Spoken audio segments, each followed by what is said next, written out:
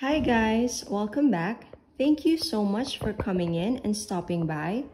In today's video, I'm going to share with you the pros and cons of the iLife V5S Pro Vacuum Robot. So let's start off with the pros. As a mom of a very active toddler, I like that my cleaning time is shorter because of the fact that the iLife V5S Pro can work both as a vacuum cleaner and as a mop. So it saves a lot of time when it comes to cleaning our floor. Second, I noticed that the sound of the vacuum is low. That is why it was still possible for me to have Zoom meetings even when it was vacuuming and doing its job.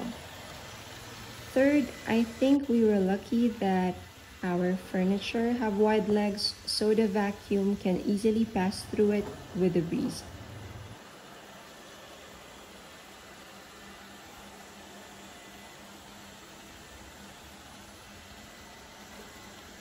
Fourth, I like that it can climb up the base of the electric stand fan and clean it because it is an area that is often neglected when cleaning an electric fan.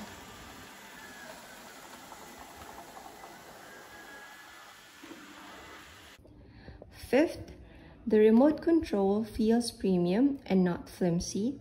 It actually feels and looks like a remote control for air conditioners, so that's a plus.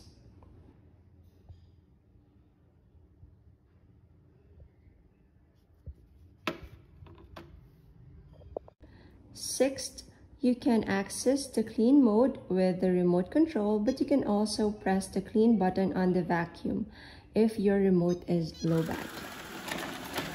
Seventh, the robot vacuum suction is very good because it can really get even the smallest dirt on our tiles, especially hair.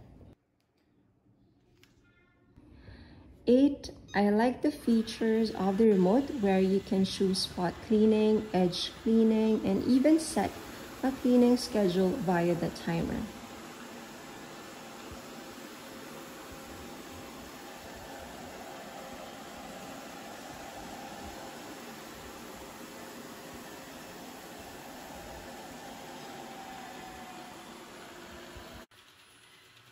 Ninth, I like that it is able to navigate itself back to its charging pad when it's low bat.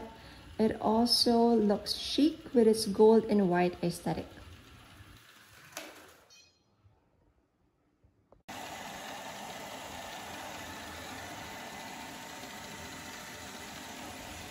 Tenth, it has an effective sensor so it can detect if it's located near areas where it can fall like stairs. So you don't need to worry about that. Now for the cons of the iLife V5S Pro. First, since we have a low profile sofa, the robot vacuum cannot clean under it so I need to move the furniture aside so that the robot vacuum can access the dirt underneath. Second, if you have a small kitchen mat or rug, it can get tangled with it. So I need to uh, remove the kitchen mat beforehand. Third, the dustbin of the iLife V5S Pro is smaller than other robot vacuums, so you may need to empty the dustbin often.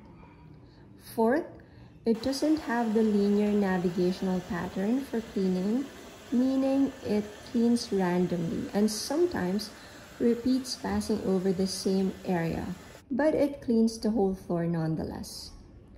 Fifth, for those who prefer accessing the robot vacuum using an app, then this model is not for you because it doesn't have the mobile app feature so you will not have the option to connect this to any virtual smart assistant like Google or Alexa.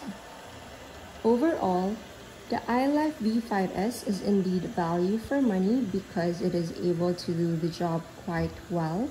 I can say that they are uh, I can say that there are more pros than cons when it comes to this product. So if you are looking for a good quality robot vacuum that doesn't break the bank, then go for the iLife V5S Pro Robot Vacuum Cleaner. And that's it. I hope I was able to properly show you the pros and cons of the iLife V5S Pro Robot Vacuum. Again, please give this video a thumbs up and don't forget to subscribe.